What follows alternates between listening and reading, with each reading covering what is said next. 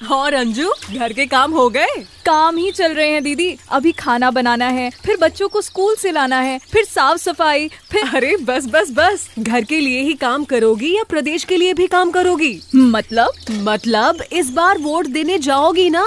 Vote? घर के कामों से फुर्सत मिले तब तो। वैसे भी मेरे एक वोट से क्या हो जाएगा दीदी? अपने परिवार की तरह अपने प्रदेश के बारे में भी सोचो। आखिर हमारा प्रदेश भी तो हमारा परिवार है। बात तो सही है दीदी। वोट देना हम महिलाओं की भी ज़िम्मेदारी है। अब घरों से निकलकर वोट देने की बारी है।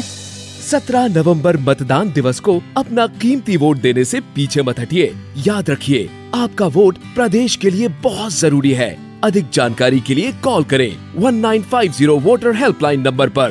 लोकतंत्र का भाग्य विधाता बने जागरूक हर मतदाता।